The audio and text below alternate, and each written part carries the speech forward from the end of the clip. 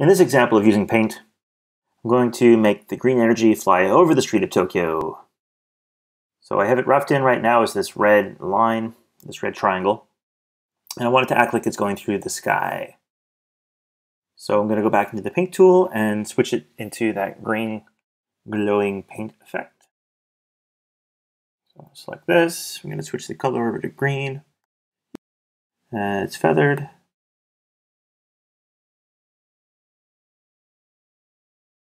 Like that. Then copy. So Command C, Command V. We're going to take the copy and take out its feathering. We're going to change the color to yellow. And I'm just going to manually, oops, a bit much, isn't it?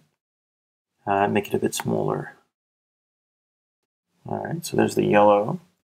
And copy and paste. I'll do the white one. I'm just going to set it up over to the side so you can see it easier. Exactly the same technique as from the previous demonstration.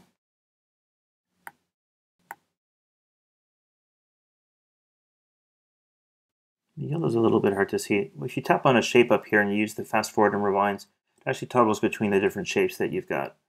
Uh, this is in contrast to if you were to tap down here on the track where the keyframes are. Fast forward and rewind would move you between the different keyframes. Uh, so up here, back to where I was, where this thing was set up kind of well enough. And we'll move all my shapes off at the same time to the top of the screen. Do it, undo, Command A to select all. You can see that my green glow is not positioned well enough. Let's just make this better. Now my yellow one.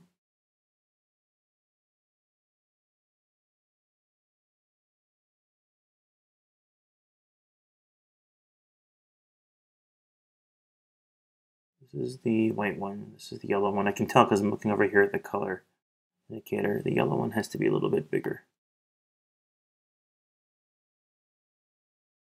Not seeing enough of the yellow colored.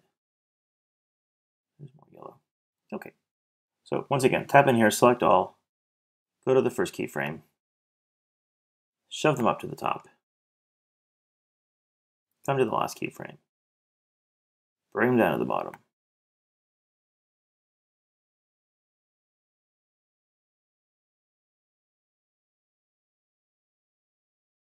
I don't mind that there's green there because I'm going to use um, a key to cover that up after. So if I play back, we get this. Very quick. I'm not sure that I actually like how the colors have matched up, but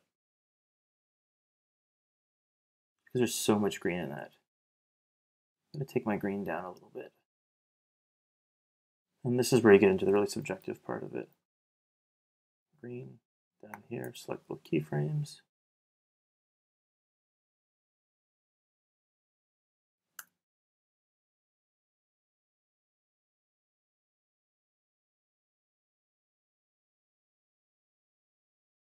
All right, so let's try that. So I'm going to zoom back in, play it. That's the concept. A little bit tricky though because of this. Uh, I'm missing my matte, So I'm going to go ahead and add the matte, the extra key. So just take this clip, select it by pressing T so it marks in and the outs. Press Alt C so it copies it to the. Uh, I should have just turned on the one track. Press Alt C so it copies it to the source monitor, align it up to V3, and press B to overwrite it back in. So now I have the original shot up here. And I don't need to use an Animatte to cut out this shape like I did with the previous shot. Uh, because it's so bright, I can just use a luma key, which keys out a certain amount of luminance. This is based on the fact that that's really, really bright. Throw on a luma key. Go into the effect editor. I want to key out this think by default it's going to keep it in, but we can check. Uh, so no, we'll just take a this over. Right now I'm looking at the foreground and there's nothing on V2 and then my background's on top of it. So it looks perfect. It's not until I move it over till I get into the paint section right after this guy walks by. So now the laser blast is coming in or the phaser, or whatever it is. And I'm going to just tweak this shot. So I'm going to uh, invert the key. Oh, no, the key was right. I do want the section. It's just including the luminance that's in the Samsung sign and the side of this building sign. If I take the gain back, it's going to restrict. And if you turn on show alpha, you can actually see that anything that's white is going to become transparent. So I'm going to see through it to the paint layer. Anything that's black is going to become opaque, and that's going to be kept from the layer 3.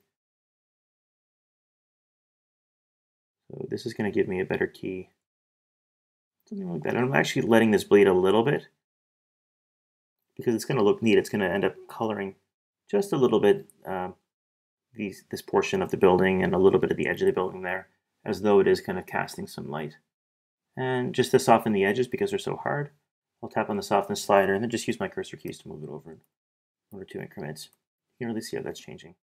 The matte here. Here it's hard, here it's a little bit softer. And if I go up to gain, I'm going to pull it down to make it a little bit more refined like this. Turn off show alpha, phaser blazer, phaser blast, and these two shots together.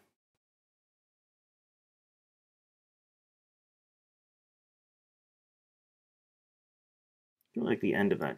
You kind of see the shape of it. I should have tapered that off, but but I didn't, and maybe you can make it better. Um, over here, same kind of thing. I'm going to take a laser blast and just fly it through.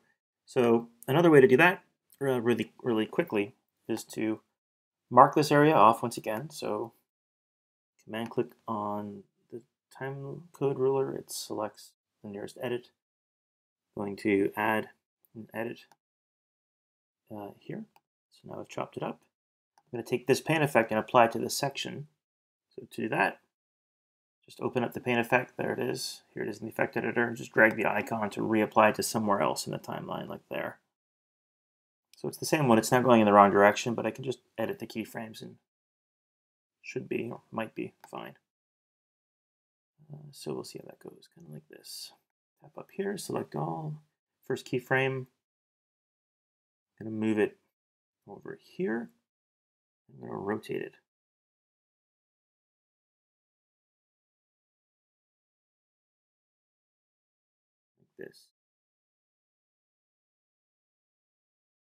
And then what I'll do is just copy this keyframe, Command C. I'm going to paste it over here by tapping the last keyframe, pressing Command V. So now they're both identical. And then for the last keyframe where I am now, just reposition it. That's easier than trying to make the second keyframe match the modified first one. Just going to go down the street like this. Maybe at the end I'll give it a slight little rotation so it's moved just slightly progressed. And that gives me this. And then same kind of effect as we did before. I'm going to take the background, cut a mask in it. Uh, this time I'll have to use Animatte because there's no luminance or chrominance setting that I can realistically rely on here to get that to work. Um, like I was able to when I used my Luma key. So turn off all the tracks, select the bottommost clip, press T to mark in and out, press Alt C to uh, copy it to the clipboard um, or to the source monitor. Uh, patch it, overwrite it back in with B, that's overwrite. There it is. Throw on a Animatte here. And then I'm going to have to go cut this myself. Now, because the building is moving pretty fluidly, I can probably just use keyframes to make the matte move. Um, you can track those things if you want to, but this isn't really a tutorial on tracking, is it? I'm going to open up my uh, Animatte. I'm on the first keyframe, which is true. And I wanted to kind of go down this street here. So I'm going to key out this.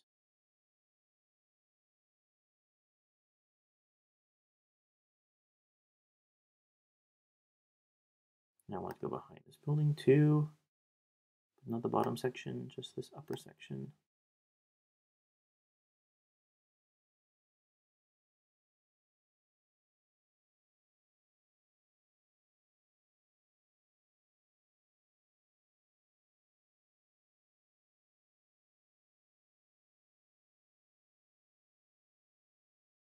It's it's these little small details, like right here, when it's going to shine through these two, that I think make it look really cool.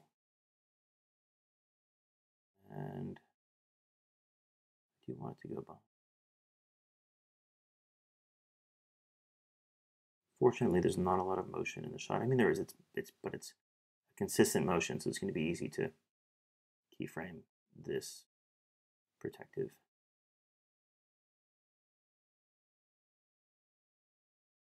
Now, I'm just noticing that if it comes, when it gets here, it's going to be between this building and that, which is not true. I should have took the matte all the way up that way.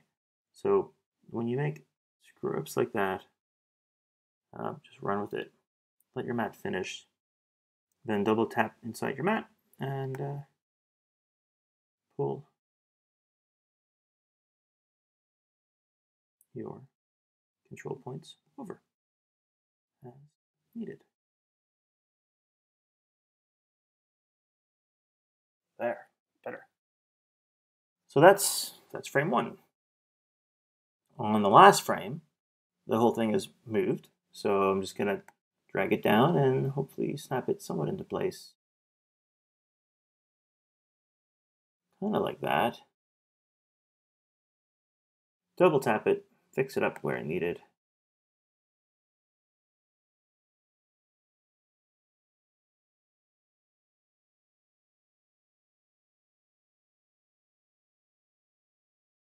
Here I've just shift selected a couple, then they can all move together. You over here.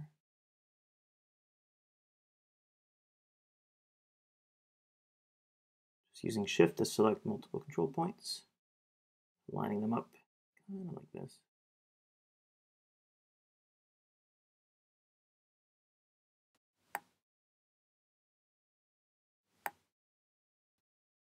All right, so now my keyframe at the beginning, like that.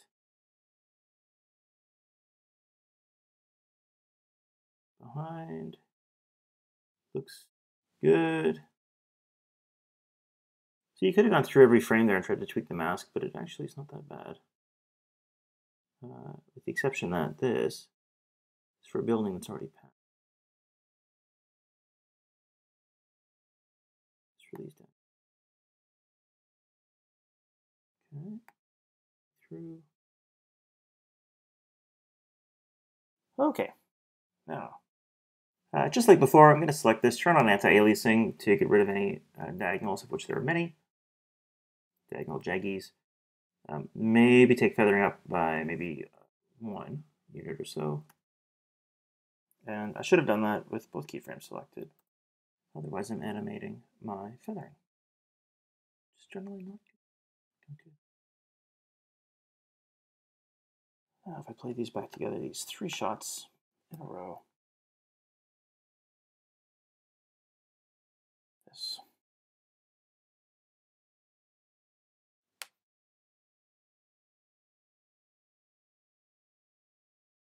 That is one technique for making phaser blasts.